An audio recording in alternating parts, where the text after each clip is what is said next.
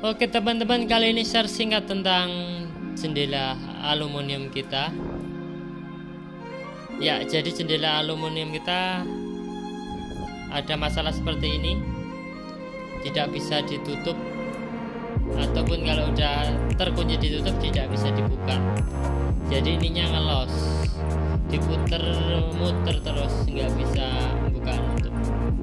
dan terpaksa kita panggil teknisi. Dan harus kita ganti handle-nya. Karena spare untuk penggantian patahannya di dalam handle-nya saja barangnya baru kosong. Dan akhirnya kita harus mengganti.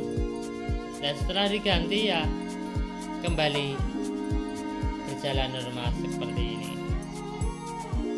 ya sekian dulu share singkatnya semoga cukup memberi gambaran.